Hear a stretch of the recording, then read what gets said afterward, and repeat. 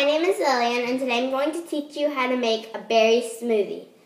The ingredients that you're going to need are five strawberries.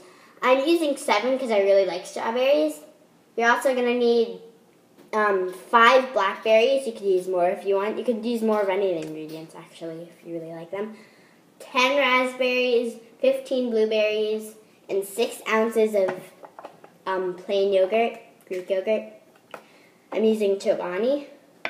You're also going to need a cutting board, a knife, a blender, and something that's optional is wheat germ.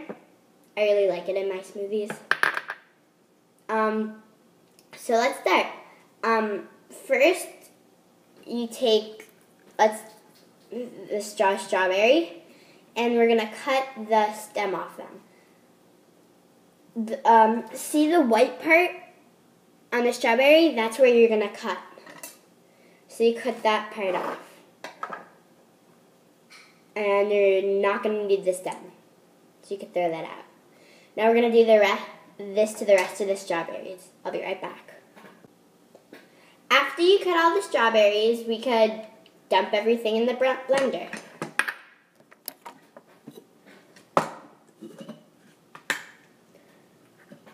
Pour the strawberries in, blackberries, the raspberries, the blueberries,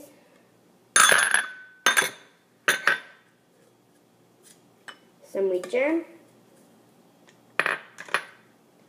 and the yogurt.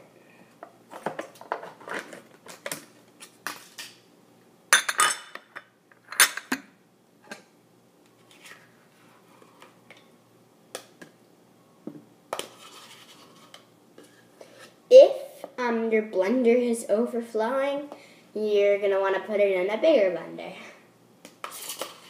This might be starting to overflow. And then we put the top on.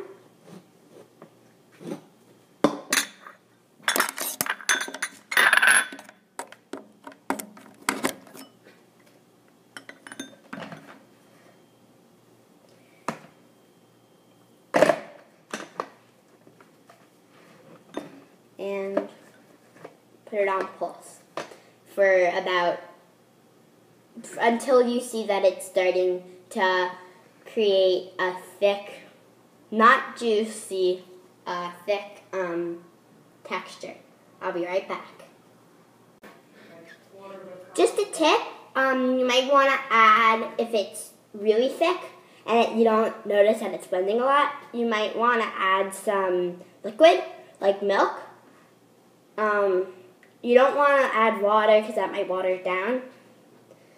But something that you can do is you freeze milk, and so it stays cold if you like it cold.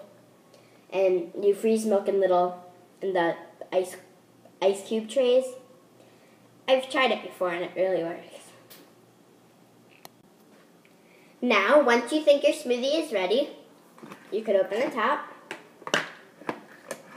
and serve.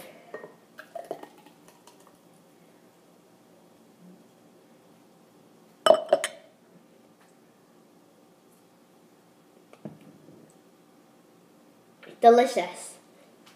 You could add other things to this smoothie, orange. Um, no, once you serve it, you could add orange. Um, you could use this. Uh, um, it, it's you can add sugar if you want. Ice cream. It's so good that you wouldn't even have to add anything. So watch more of my videos, subscribe, and have a nice day. Hope you like your smoothie.